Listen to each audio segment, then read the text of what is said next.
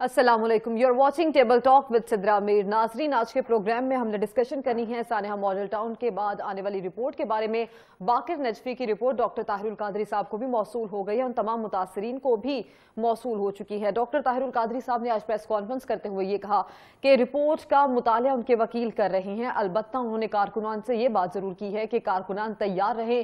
احتجاج کی کال کسی بھی وقت دی جا سکتی ہے اور کنٹینر کو بھی تیار رکھیں۔ اس رپورٹ کے اندر ذمہ داروں کا تعین براہ راست نہیں ہو سکا ہے، لیکن بہت سارے سوالات ایسے اٹھائے گئے ہیں جن کا جواب یہ بنتا ہے کہ پنجاب حکومت کی نیگلیجنسی تھی سارے معاملے کے اندر اور پنجاب حکومت کے دو بڑے نام شہباز شریف اور رانا ثناءاللہ صاحب ایسے ہیں جن کو مورد الزام ٹھہرایا جا رہا ہے اور پاکستان عوامی تحریک کے سربراہ ڈاکٹر طاہر القادری نے بھی انہی دو شخصیات کا نام لیتے ہوئے یہ مطالبہ کیا ہے۔ ان دو شخصیات کو مستعفی ہو جانا چاہیے۔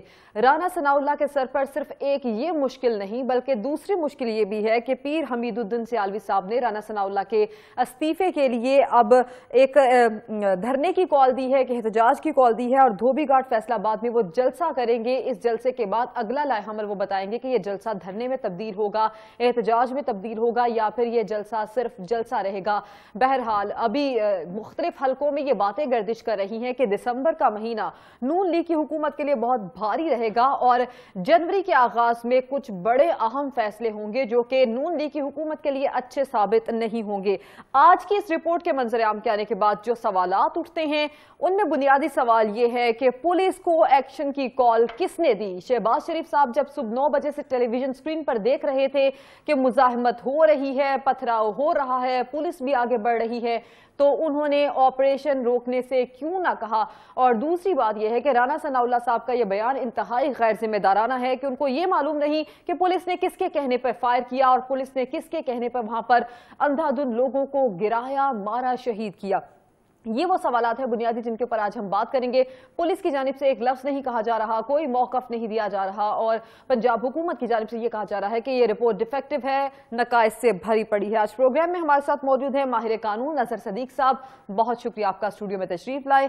امیر العظیم صاحب ہے جماعت اسلامی کے رہنما۔ امیر العظیم صاحب، آپ کا بھی بہت شکریہ۔ ارباب خضر حیات صاحب، مسلم لیگ نون سے جن کا تعلق ہے ٹیلی فون لائن پر ہمارے ساتھ موجود ہیں۔ اور پروگرام میں کچھ دیر بعد ہمیں جوائن کریں گے ساجد بھٹی صاحب، عوامی تحریک کے رہنما۔ ہیں سب سے پہلے میں قانونی رائے جاننے کے لیے اظہر صدیق صاحب سے بات کروں گی۔ اظہر صدیق صاحب، اس رپورٹ کو ابھی یہ کہا جا رہا ہے کہ اس کے اندر ذمہ داروں کا تعین نہیں ہو پایا ہے۔ لیکن جتنے سوالات اس رپورٹ کے اندر اٹھ رہے ہیں، پنجاب حکومت کی نیگلیجنس لا منسٹر منسٹر کے کریکٹر کو لے کر اور سی ایم کے کریکٹر کو لے کر کہ ان کے حکم کے بغیر یہ آپریشن یہاں پر شروع کیسے ہو گیا؟ شروع جب ہوا تو ختم کیوں نہ ہوا؟ قانون کیا کہتا ہے اس رپورٹ کو؟ کس طرح دیکھتا ہے؟ دیکھیں دو طرح سے لائبلٹی آتی ہیں۔ ایک بیسیکلی وائکیریس لائبلٹی کا پرنسپل ہے دوسرا ہم فوجداری کے اندر۔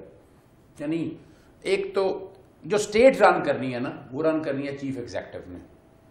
وہ چاہے آئینی طور پر دیکھ لیں یا رولز آف بزنس میں دیکھ۔ رانا سناولا صاحب جو ناولا صاحب جو میٹنگ کر رہے تھے وہ رانا سناولا صاحب کی میٹنگ کر رہے تھے چیف منسٹر یا کیبنٹ کے بحاف کے اوپر۔ تو یہ جو کہنا ہے کہ رانا سناولا صاحب نے میٹنگ کی ہے باقی کو پتا نہیں۔ یا باقی یہ سوئے ہوئے تھے۔ یا خواب و خواب یا خیال نہیں تھا آپ اسے پچھلے چھ میٹنگوں میں چلے جائیں کمشنر روک رہے ہیں اور بڑا دکھ اور تکلیف ہوتی ہے۔ صوبے کا چیف ایگزیکٹو کہتا ہے انہیں پتا نہیں۔ پتا نہیں۔ اب دیکھیں نا یہ اتنی بڑی تکلیف ہے۔ میں ایک سکول کا پرنسپل ہوں۔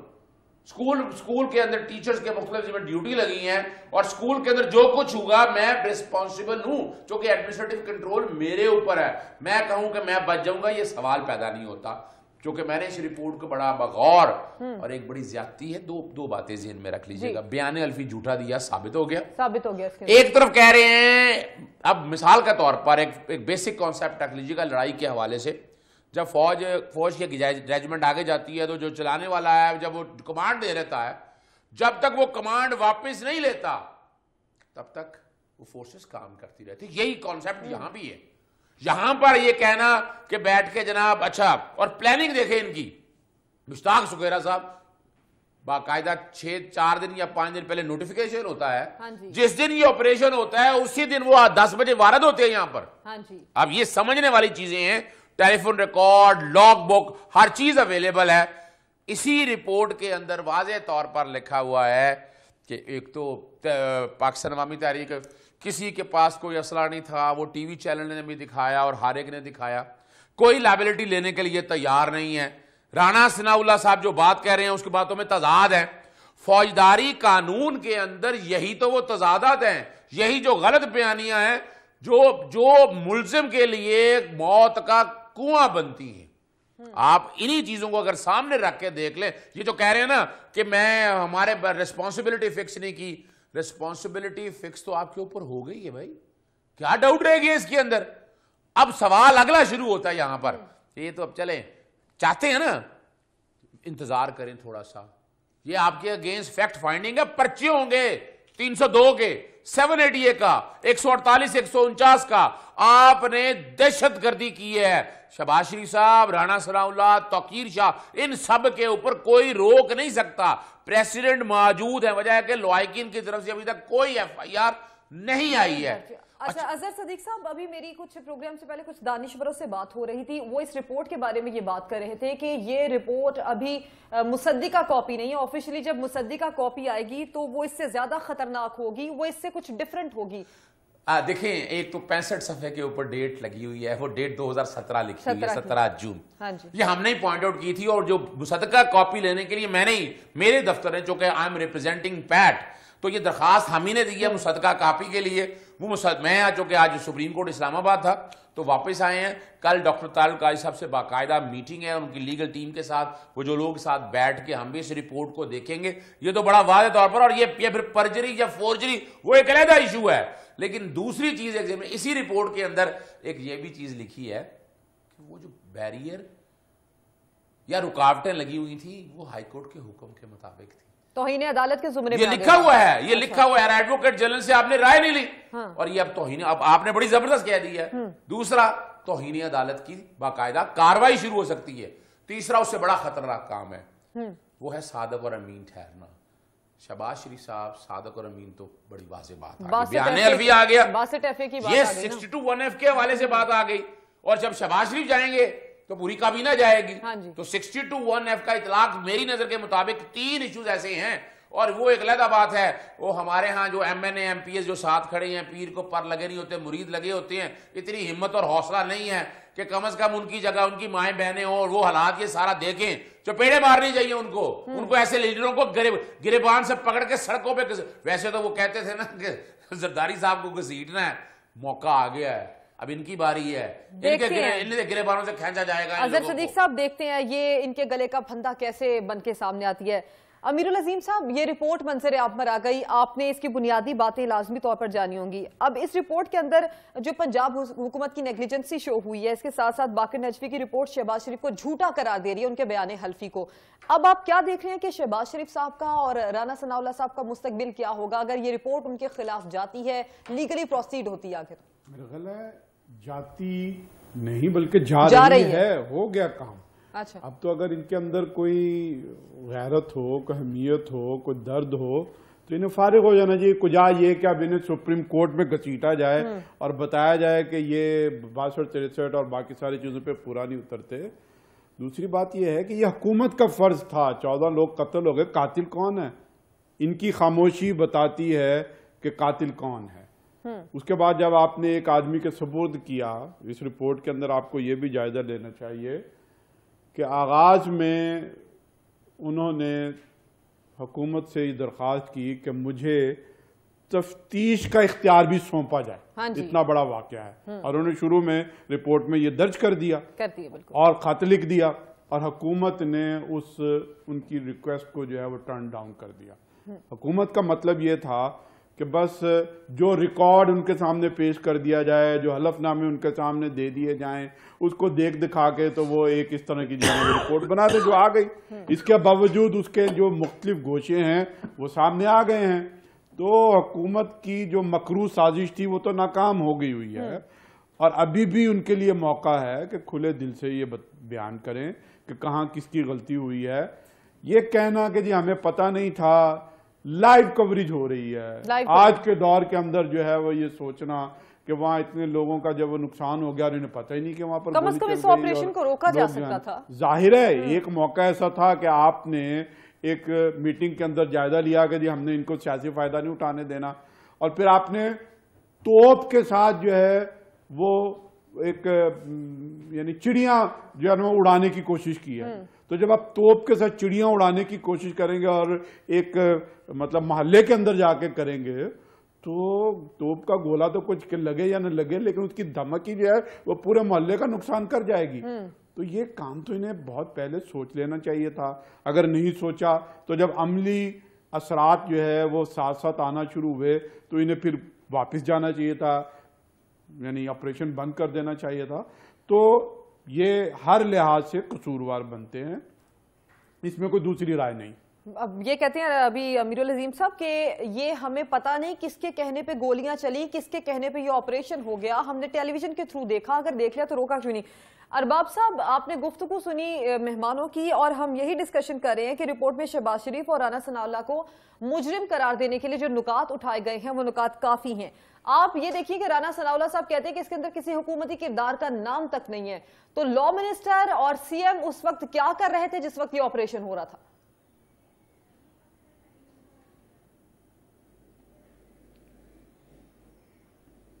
ارباب، سب تک میری آواز جا رہی ہے؟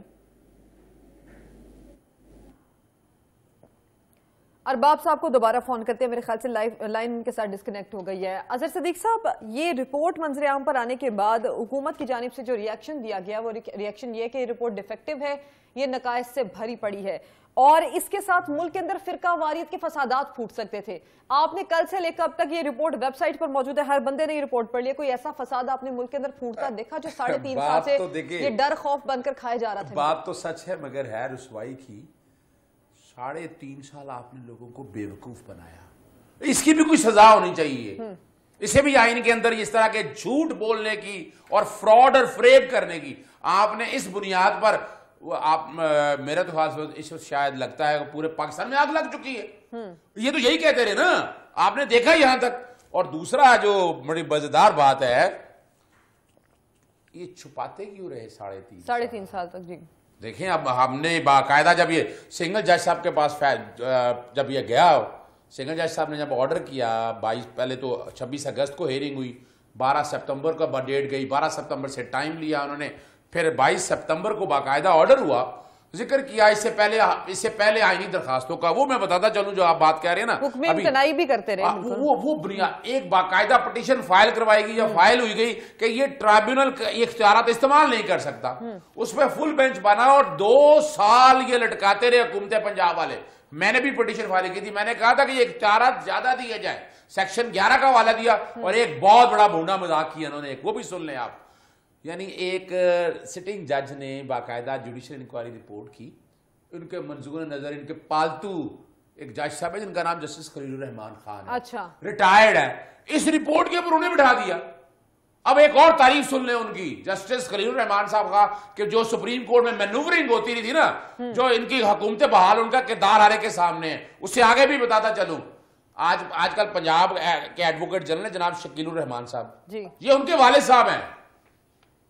ان کے شکیل الرحمان صاحب کے سسر کا نام ہے مبشر جو یونیورسٹی آف ہیلتھ سائنسز میں کیا کچھ کرتے رہے ریکارڈ کی چیزیں۔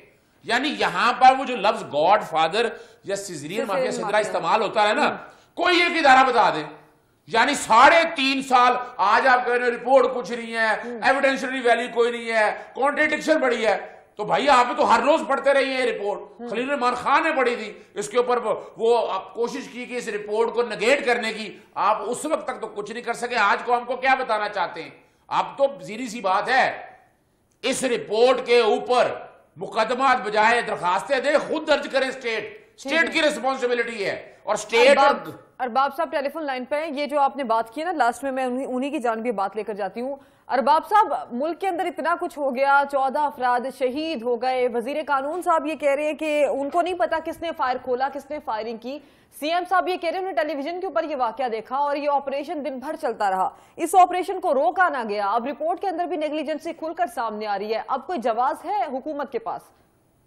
دیکھیے سدرا، جہاں تک ماڈل ٹاؤن واقعے کی رپورٹ کا تعلق ہے، تو میرا خیال میں وہ تو اب دودھ کا دودھ اور پانی کا پانی ہو چکا ہے۔ رپورٹ سامنے آ چکی ہے۔ اس میں کہیں بھی یہ ذکر نہیں ہے کہ وزیر اعلیٰ صاحب اس میں ملوث ہے یا رانا سنولا صاحب اس میں ملوث ہے یا حکومت کی کوئی اور عہدیدار اس میں ملوث ہے وہ تو رپورٹ سامنے ہے۔ میں نے ایک ایک لفظ رپورٹ کی پڑھی ہے۔ اس میں کہیں پر ایسا ذکر نہیں ہے۔ اور میں آپ کو ایک اور بات بتاتا چلوں۔ یعنی ہم روز ٹاک شوز کرتے ہیں ہم باتیں کرتے ہیں لوگ سنتے ہیں اور بس بات ختم ہو جاتی ہے۔ لیکن اب ہمیں قوم سے کچھ چھپانا نہیں پڑے گا ہمیں قوم کو سچ سچ بتانا پڑے گا۔ اور سچ یہ ہے کہ اگر ارباب صاحب اب تو بتانا پڑے گا لیکن ساڑھے تین سال تک بتایا کیوں نہیں؟ سچ بتانا ہے تو۔ اگر آپ قانون نافذ کرنے والے اداروں پر فائرنگ کریں گے تو کیا وہ تماشا کریں گے؟ اگر میں آپ کے گھر پر حملہ کروں گا تو کیا آپ مجھے وہیں سے بس دیکھ کر تماشا کریں گی؟ لیکن ارباب صاحب ایک سوال یہاں پر یہ بھی پیدا ہوتا ہے نا میں آپ کو پتھر ماروں گی تو آپ مجھے واپس پتھر ماریں گے یا گولی ماریں گے؟ تو اسی طرح ہوا ہے نا اس جانب سے بھی فائرنگ ہوئی ہے۔ اس طرح نہیں ہوا نا۔ چودہ افراد ایک طرف سے شہید ہو گئے۔ آپ نے آج تک آپ نے رپورٹ پڑھی ہے رپورٹ میں کس جگہ کہا ہے؟ زخمی ہوا کیا معاملہ ہوا؟ صاحب سے اتنا پوچھ رہے ہیں کہ اس رپورٹ میں کس جگہ کہا ہے کہ فائرنگ انہوں نے کی تھی؟ رپورٹ پڑھی ہے اچھا ارباب صاحب مجھے یہ بتا دیں کہ اس رپورٹ کے اندر واضح طور پر کہاں لکھا ہے کہ پنجاب حکومت کی سی ایم صاحب کی اور لا منسٹر کی کوئی نیگلیجنسی نہیں ہے اور پولیس نے بھی سب کچھ بتا دیا کہ پولیس نے کس کے کہنے پر فائرنگ کی تھی۔ پولیس نے تو خود فائرنگ کی ہے یہ تو یہ تو بالکل واضح ہے کہ انہوں نے جب ان پر آپ فائرنگ کر رہے ہیں جب ان پر آپ پتھر پھینک رہے ہیں جب انہیں آپ مار رہے ہیں ایک لا منسٹر کے انڈر جو پولیس آتی ہے وہ پولیس اس کا حکم نہیں مانتی خود بخود فائرنگ کر دیتی ہے خود بخود آپریشن کر دیتی ہے اس پولیس کے خلاف آپ نے کیا کاروائی کی؟ ایسی پولیس کو ڈسمس کر دینا چاہیے تھا ایسی پولیس کو جیل بھیج دینا چاہیے تھا۔ نہیں جی پولیس کو کیوں بھیجے؟ جن لوگوں نے پولیس کو کہا وہی کہیں گے نا۔ ایک اس طرح احتجاج ہم نے بھی کیے ہیں ہم ہم بھی ہم نے بھی بہت احتجاج ہم بھی سیاست کر رہے ہیں ہم بھی احتجاج کر چکے ہیں لیکن جس قسم کے سیاست کا ایشو نہیں ہے خدا را ارباب صاحب۔ سامنے تھا۔ وہ ساری دنیا دیکھ رہی تھی کہ وہ کس قسم کا احتجاج تھا جبکہ وہ چاہ رہے یہی رہے تھے کہ ادھر خون بہے۔ جس طرح میں نے آپ کو پہلے بھی آپ کے ایک پروگرام میں کہا تھا کہ اسلام آباد میں جو حال ہی میں دھرنا ہوا ہے وہاں بھی وہی اسی طرح کا ایک دہرانا چاہتے تھے۔ لیکن ہم نے اچھا ارباب صاحب جب کسی جگہ پر احتجاج ہوتا ہے احتجاجی مظاہرین یہ چاہتے ہیں کہ مزاحمت ہو انتشار پھیلے اور خون خرابہ ہو اس وقت پر حکومت کی کیا ذمہ داری بنتی ہے؟ ان تمام مقاصد کو پورا کر دینا یا حالات کو کنٹرول میں لے کر آنا؟ ان تمام افراد کو گرفتار کیا جا سکتا تھا جیل میں بند کیا جا سکتا تھا۔ کیا قتل عام صرف واحد حل تھا پنجاب حکومت کے پاس اس وقت؟ دیکھیے جی اگر وہ تو پہلے فائرنگ کہاں سے ہوئی تھی؟ فائرنگ تو پہلے مظاہرین کی جانب سے ہوئی تھی۔ اس کے بعد باب صاحب انکوائری رپورٹ کے کس صفحے پہ لکھا ہے کہ فائرنگ پہلے وہاں سے ہوئی تھی؟ میں میں انکوائری رپورٹ کو ایک طرف رکھ کر حقیقت کمال ہو گیا۔ ابھی کہہ رہے ہیں کہ انکوائری سب کچھ ساتھ ثابت ہو گیا۔ اب ہمیں حقیقت بیان کرے گا۔ آپ رپورٹ کو ایک طرف کر لیں رپورٹ کو دیکھیں گے ہم ادھر کو دیکھیں گے اس چیز سنیں گے۔ یہ باتیں چھوڑے ہمیں اللہ کو جواب دینا ہے ہمیں ضمیر کے مطابق چلیں چلیں ایک ایک قسم کھا کے کہہ دیں قرآن کی کہ یہ سارا کچھ جھوٹ ہے۔ اگر آپ کو اتنا شوق ہے۔ نہیں نہیں ان سے یہ پوچھتے ہیں۔ کمال ہو گیا۔ ان سے سوال ان سے سوال کرتے ہیں کہ بھائی قرآن آپ بتاتے نا، اللہ کو جواب دینا ہے۔ تو قرآن کے اندر ہے، بے ای زمبن قتلت۔ کہ وہ جو مقتول ہیں، وہ قیامت کے دن پوچھیں گے کہ ہمیں کس قصور میں قتل کیا کس نے قتل کیا؟ آپ نشاندہی کریں۔ کس نے قتل کیا ہے؟ چودہ افراد جو ہے وہ شہید ہو گئے ہیں۔ اور آپ یہ کہہ رہے ہیں کہ جناب، آپ اسلام آباد میں تو آپریشن روک سکتے ہیں۔ یہاں پر وہ کسی کو تنگ نہیں کر رہے، اپنے گھر پہ موجود ہیں، اپنے ادارے کے اندر موجود ہیں۔ انہوں نے زیادہ سے زیادہ جو ہے وہ وہاں پر کچھ جو ہے وہ گیٹ بنا دیے ہیں۔ تو آپ نے اس کو اٹھانے کے لیے جو ہے وہ چودہ افراد کو قتل کر دیا۔ بنیادی نیگلیجنسی آپ کی حکومت کی شاید آپ کو سمجھ نہیں آ رہی، ارباب صاحب، وہ یہ ہے کہ یہ سارا آپریشن وہاں پر ہو کیسے گیا؟ اختیار آپ کے پاس ہے، ارباب اختیار آپ ہیں، پولیس آپ کی ہے، اسٹیٹ آپ کی ہے، آپ روک سکتے تھے یہ ساری چیزیں، اب ذمہ داری آپ لوگ قبول کیوں نہیں کر رہے؟ دیکھیے اس طرح یہ ضروری نہیں ہے کہ ایک جگہ پر ایک واقعہ ہو جائے تو وہاں پر ہم انتظار کریں گے۔ جو بھی حکومت ہو تو کیا وہ انتظار کرے گی کہ حکومت کی جانب سے ہمیں انسٹرکشن آئیں گی؟ معاف کیجیے گا ارباب صاحب معاف کیجیے گا۔ یہ ایک واقعہ نہیں ہے یہ ایک واقعہ نہیں ہے۔ ان متاثرین کے پاس جا کر دیکھیں جن کی مائیں جن کی بہنیں جن کی بیٹیاں تھیں جن کے باپ جن کے بھائی تھے جو آج ان کے ساتھ نہیں ہیں اور وہ ساڑھے تین سال کے بعد رو رہے ہیں۔ اظہر صدیق صاحب، مجھے آپ سے ایک سوال کرنا ہے۔ وہ سوال یہ ہے کہ کیا یہ رپورٹ کافی ہے ذمہ داروں کا تعین کرنے کے لیے؟ لیکن صدیق صاحب، بریک پر جانے سے پہلے میں نے ایک سوال چھوڑا تھا کہ اب ڈاکٹر طاہر القادری صاحب احتجاج کی کال دے رہے ہیں۔ احتجاج تک نوبت آئے گی یا پھر یہ رپورٹ کافی ہے ذمہ داروں کا تعین کرنے کے لیے؟ دیکھیں ایک وہ مینٹلٹی یا بیانیہ جو سپریم کورٹ کا آرڈر واضح ہے۔ دو دفعہ وزیر وزیر اعلیٰ، تین دفعہ وزیر اعظم پوچھتا ہے، مجھے کیوں نکالا؟ آج وہ بیچاری حاملہ خواتین کے بچیاں پوچھتی ہیں ہمیں کیوں مارا؟ اس کا جواب نہیں ہے ان کے پاس۔ بڑی سیدھی سی بات ہے کہ یہاں پر یہ تو چھین کے انصاف لینا پڑ رہا ہے اپنا حق ان سے۔ یعنی ساڑھے تین سال ایک رپورٹ دینے میں لگا دی ہے۔ اس رپورٹ پہ عمل درامت کون کرے گا؟ یعنی یہ رپورٹ کسی نے ان میں سے کسی نے نہیں پڑھی ہے۔ باتیں جتنی مرضی کر لیں۔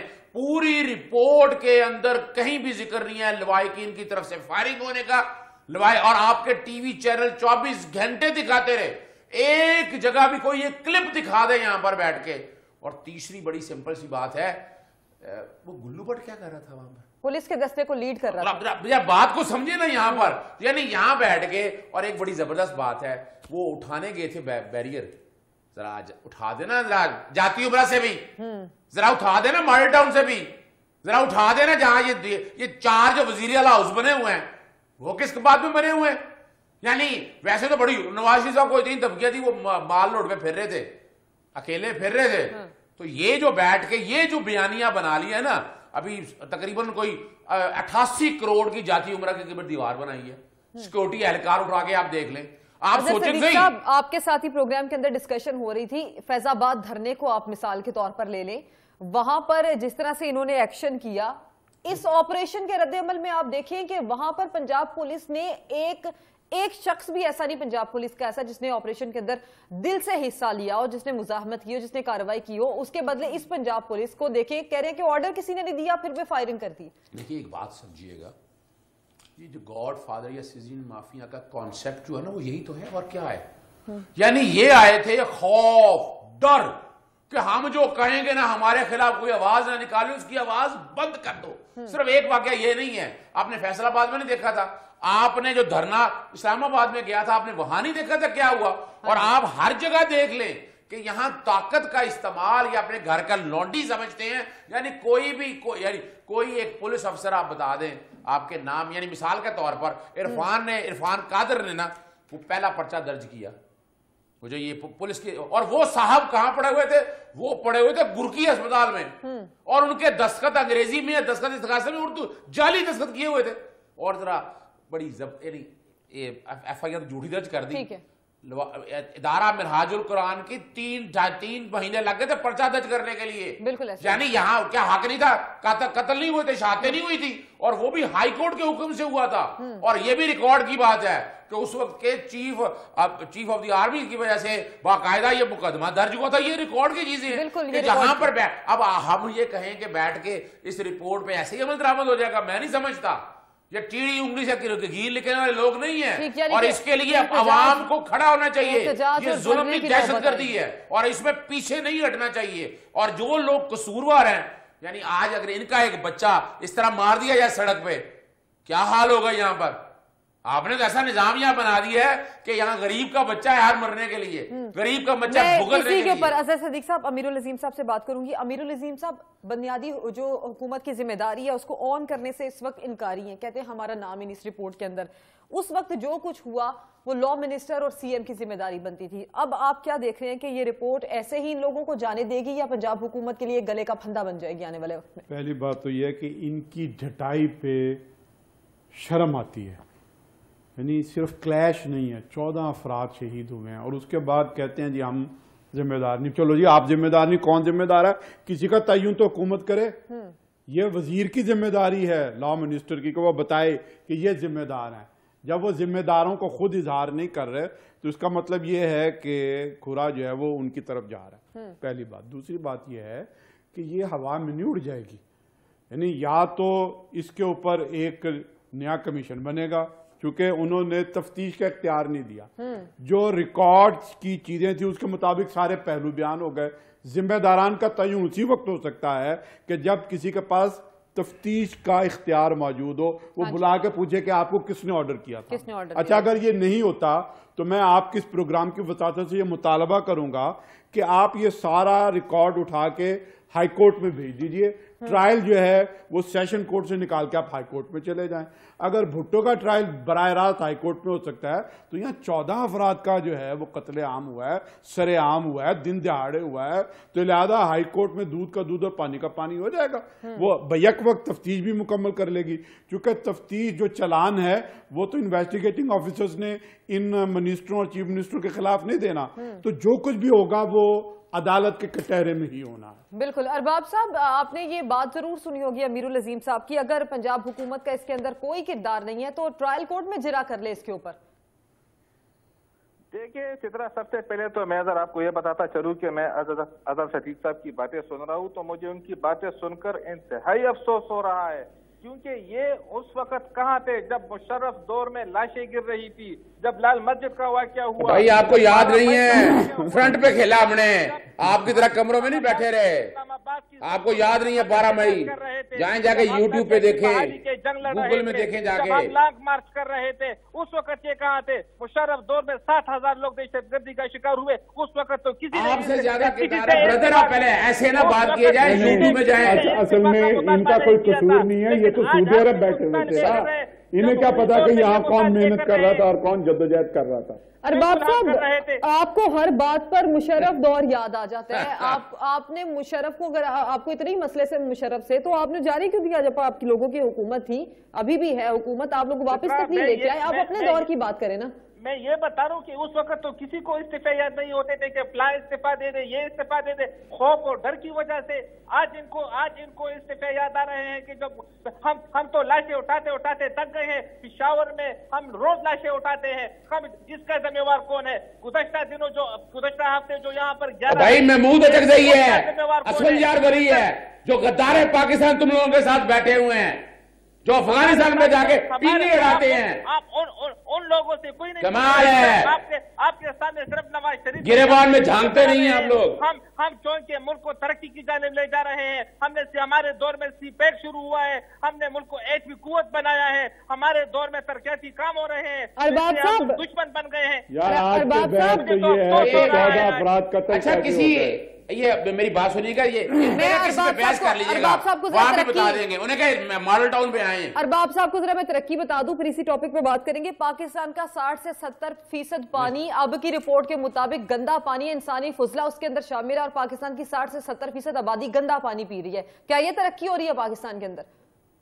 یہ رپورٹ پتہ نہیں سر آپ کو کہاں سے ملی ہے؟ ہمیں ہمیں تو کہیں سے اس طرح کا کوئی رپورٹ نہیں ہے کہ کہاں پر گندا پانی لوگ پی رہے ہر کیونکہ پانی پانی کی صفائی کے صفائی کا تو بہت بہتر انتظام ہو رہا ہے۔ میں سندھ کی بات نہیں کروں گا لیکن پنجاب خیبر پختونخوا بلوچستان میں تو اس طرح کی کسی کسی علاقے سے شکایت نہیں آئی ہے۔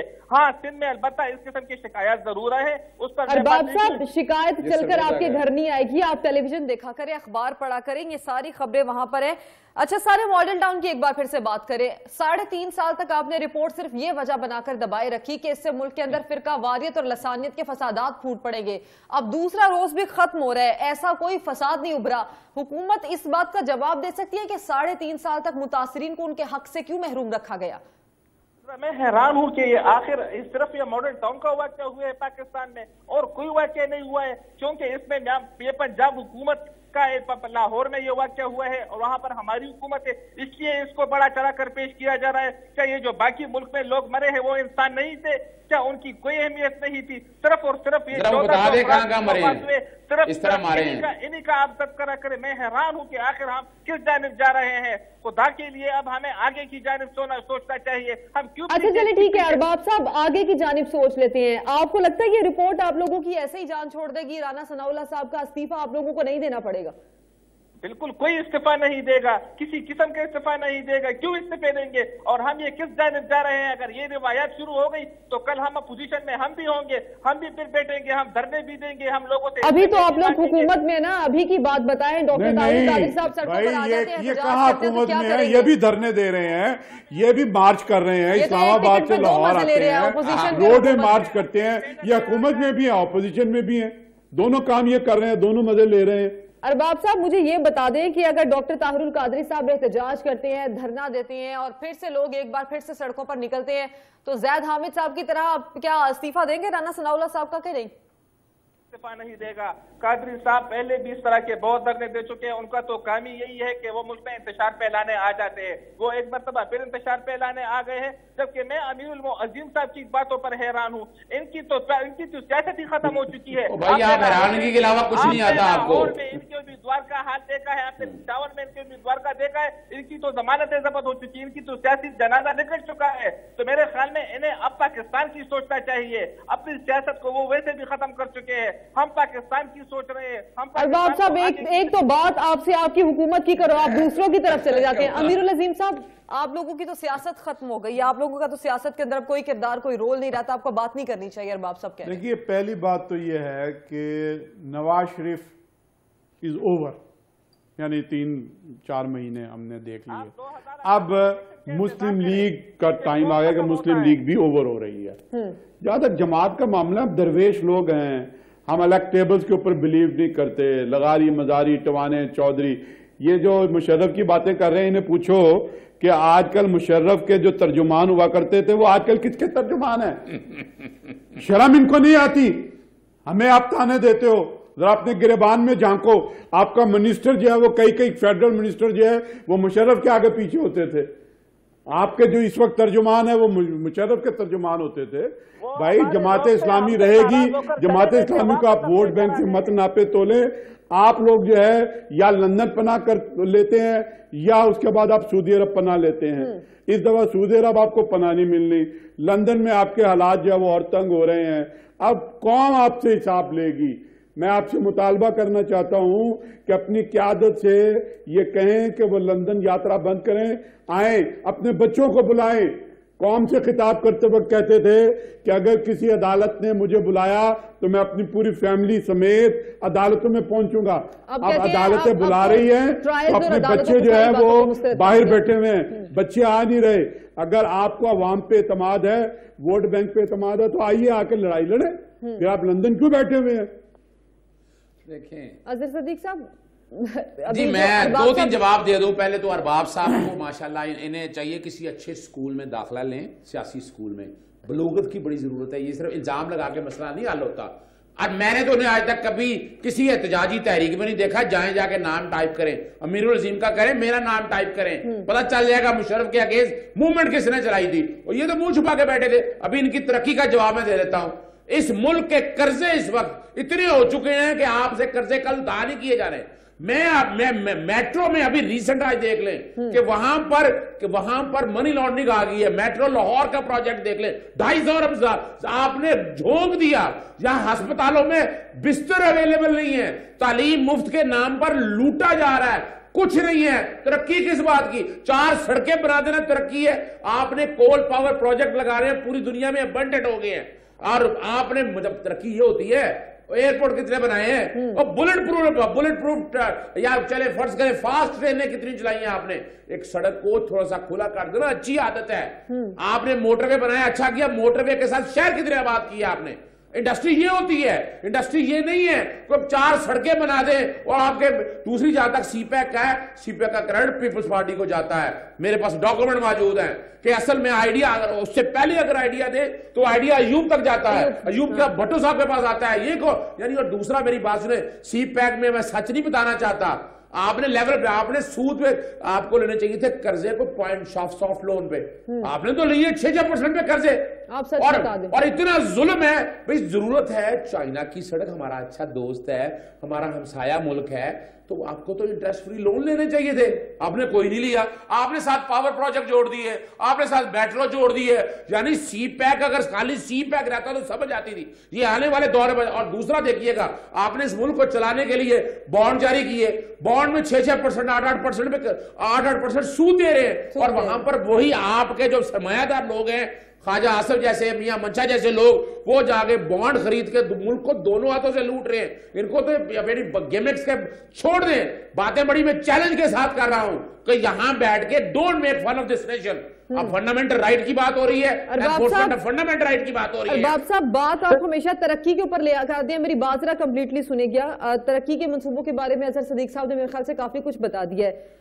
اخلاقی بنیادوں پر رانا ثناءاللہ صاحب ہو اور شہباز شریف صاحب کو اس واقعے کی ذمہ داری لینی چاہیے یا نہیں؟ آپ ایک دفعہ خود کو ان کی جگہ پر رکھ کے سوچے جن کے پیارے ان سے بچھڑ گئے، اس آپریشن کو روکا جا سکتا تھا۔ ان متاثرین کے پاس سی ایم صاحب کو جا کر اپنی ذمہ داری قبول کرنی چاہیے یا نہیں کہ ان کی نیگلیجنسی تھی اس واقعے کے اندر؟ سدرا پہلے تو میں ذرا اظہر صدیق صاحب کے سوال کا جواب دے دوں جو مجھے سیاست سے کہہ رہے ہیں تو شاید وہ اپنی ذرا یاداشت کا اگر گوگل ان کے پاس ہو تو گوگل میں ذرا سرچ کر لے کہ میں نے کر لی ابھی۔ میں نے ابھی کر لی ہے۔ جب میں نے مشرف کے خلاف اقدام اٹھایا تھا جب میں مشرف کے خلاف نکلا تھا جبکہ سب سے میں چیلنج کر رہا ہوں میں نے گوگل کر لیا سچ۔ آپ کا کہیں نام نظر نہیں آیا مجھے۔ میں موبائل رکھے ہوئے سامنے۔ عدلیہ کی بحالی کے لیے سب سے زیادہ جیلیں میں نے چھوڑے باتیں نہ کریں ثبوت بتائیں آپ۔ کوئی تانا نہیں ہے جس میں مجھے نہیں رکھا گیا تھا۔ آپ مجھے سیاست پد سے کہا ہے آپ ذرا گوگل میں سرچ کر لیں۔ آپ کو سب اچھا باب صاحب ہم یہاں پر پولیٹیشنز کی یا آپ لوگوں کی پروفائلز کے اوپر نہیں بات کریں کہ آپ لوگوں کی پروفائلز گوگل کے اوپر وکی پیڈیا کے اوپر یوٹیوب کے اوپر کیا کہتی ہیں؟ ان لوگوں کی بات کریں جن کے پیارے گئے۔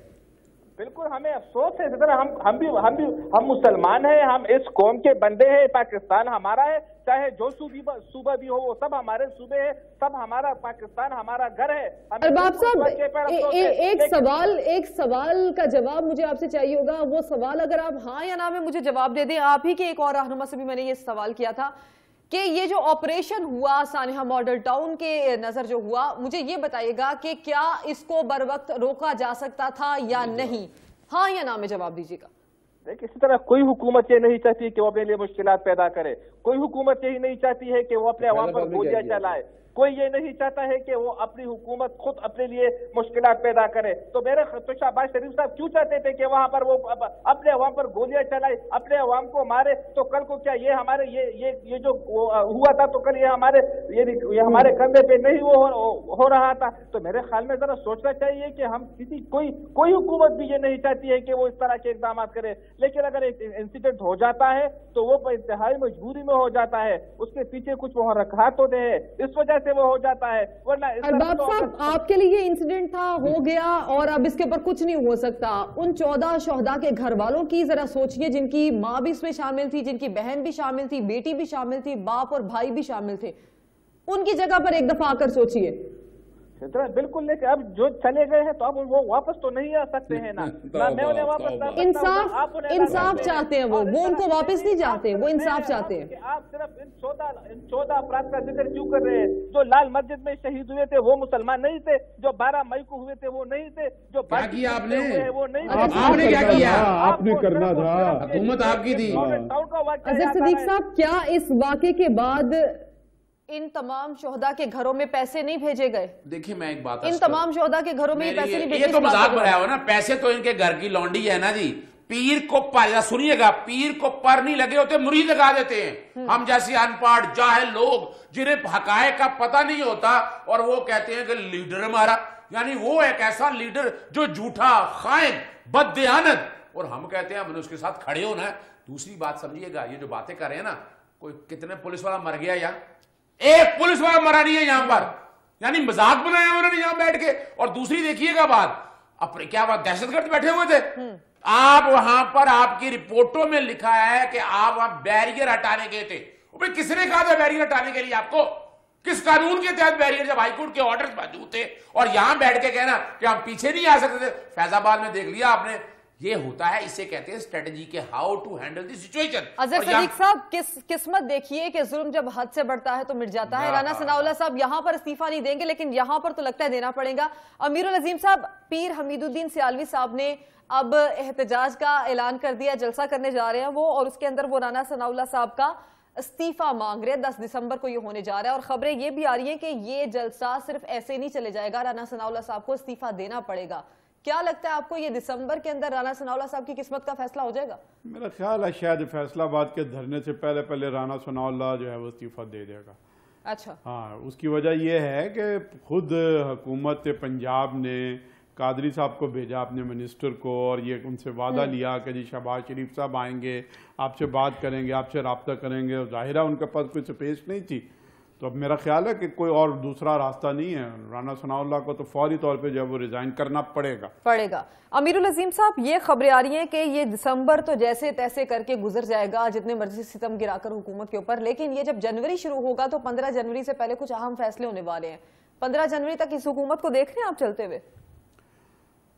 بہرحال یہ حکومت کے اوپر انحصار اس کا ہے کہ اگر وہ اپنی مدت بڑھانا چاہتی ہے تو عقل کا کوئی اظہار کرے اور اپنی غلطی کو مان لے تو پھر تو امکان ہے۔ ورنہ ایسے منظر بھی ہو سکتے ہیں جیسے مصر کے اندر ہوئے، جیسے یورپ کے اندر ہوئے کہ لوگ نکلیں گے اور پھر اسمبلیوں کے اندر پہنچ کے ان کو گریبانوں سے پکڑ کے جو ہے وہ نیچے اتاریں گے۔ اظہر صدیق صاحب، پینما اکاما ہدیبیہ سانحہ ماڈل ٹاؤن اور اس کے علاوہ دیگر بھی کچھ باتیں۔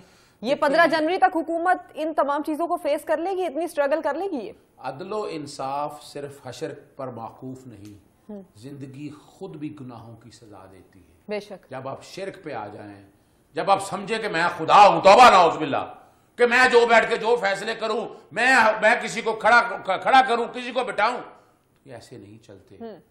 قرآن مجید میں حاکمیت جو ہے نا رب پاک کے آگے تفیز کی ہے۔ آئین پاکستان میں لکھا ہوا ہے۔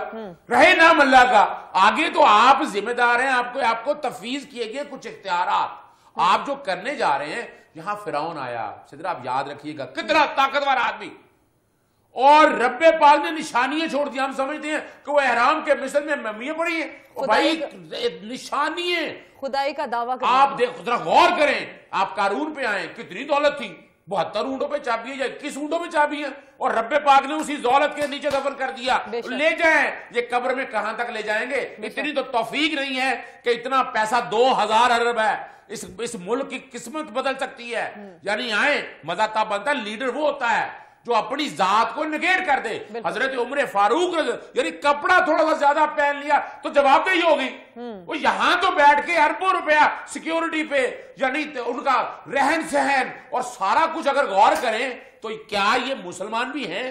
کیا وہ دین اسلام کا جو طریقہ کار جو دارہ اختیار دیا ہے؟ بالکل یہ اسلامی جمہوریہ پاکستان آپ غور کریں حضور نبی کریم صلی اللہ علیہ وسلم کو نبوت کب ملی؟ جب آپ صادق اور امین ٹھہرے صادق اور امین یعنی یہ مذاق بنانا کہ ہر کوئی صادق بھئی کس نے کہا سٹینڈرڈ وہ؟ وہ سٹینڈرڈ تو ہم پورے ہی نہیں کر سکتے۔ لیکن قریب تک تو چلے جائیں۔ کہ سچے تو ثابت ہو جائیں امین تو ٹھہر جائیں وہ نہیں ٹھہرنا حضرت صدیق صاحب آپ نے بالکل ٹھیک بات کی۔ ارباب صاحب دس دسمبر کو اب یہ جلسہ جو ہونے جا رہا ہے حمید الدین سیالوی صاحب کی جانب سے زائم قادری صاحب نے ان سے جا کے وعدے بھی کیے تھے کہ رانا سناولہ صاحب آئیں گے معافی مانگیں گے دوبارہ کلمہ پڑھیں گے۔ اب یہ حالات آپ یہاں تک آنے سے پہلے روک لیں گے یا پھر آپ ایک بار پھر سے فیض آباد انٹرچینج والے حالات دیکھنا چاہتے ہیں؟ سدرا میں حیران ہوں کہ چلے رانا ثناء استعفیٰ دے دیتے ہیں۔ تو کیا مسلم لیگ ختم ہو جائے گی؟ کیا پنجاب میں ہماری حکومت ختم ہو جائے گی؟ اس طرح تو وفاق میں بھی زائد حامد صاحب نے استعفیٰ دے دیا تو کیا ہماری حکومت ختم ہوگی؟ آج بھی وہاں پر ہماری حکومت ہے۔ تو میرے خیال میں استعفوں کے کسی کے آنے جانے سے کوئی فرق نہیں پڑتا ہے۔ ہم ملک ہم ملک کا سوچ رہے ہیں۔ اگر ملک کے سیتر مفاد میں ہوگا تو بالکل رانا ثناء صاحب بھی استعفیٰ دے دیں گے۔ لیکن اس سے کوئی فرق نہیں پڑتا ہے۔ نہ ہی پنجاب حکومت پر کوئی فرق پڑے گا نہ ہی پاکستان مسلم لیگ نون پر کوئی فرق پڑتا ہے۔ کیونکہ اگر شکریہ آپ کا آپ نے یہ بات کی ہے کہ ملک کی خاطر اگر دینا پڑا تو رانا سناؤلہ صاحب کا استعفیٰ دے دیں گے اور یہ اسی ملک کے متاثرین ہے جن کے ساتھ ظلم ہوا ہے اور ان کا یہ مطالبہ ہے صاحب کو استعفیٰ دے دینا چاہیے۔ عزت صدیق صاحب آپ کا بہت شکریہ۔ امیر العظیم صاحب آپ کا بہت شکریہ۔ پروگرام میں آپ شرکت کرنے آئے اور اس معاملے کے اوپر آپ نے بات کی۔ ارباب عزت حیات صاحب ہمارے سے ٹیلیفون لائن پر موجود ہیں۔ آپ کا بہت شکریہ۔ ناظرین آج کا پروگرام دیکھنے کا بہت شکریہ۔ صدر امیر کو اجازت دیجیے کل ایک بار پھر سے آپ کے سامنے حاضر ہوں گے۔